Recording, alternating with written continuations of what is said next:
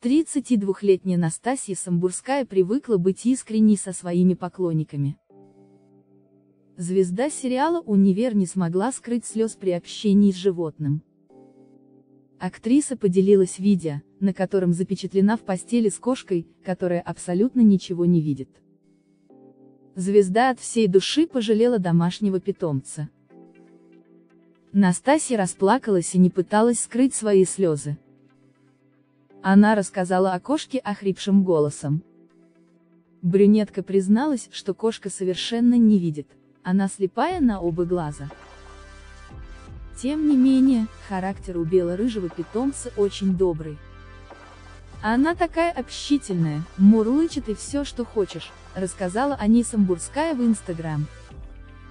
Звезда не просто сочувствует тяжелой судьбе животных.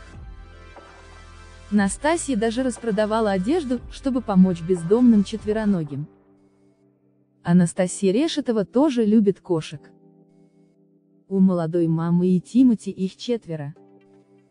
Брюнетка думала, что такая любовь к животным пройдет после рождения ребенка, но этого не произошло.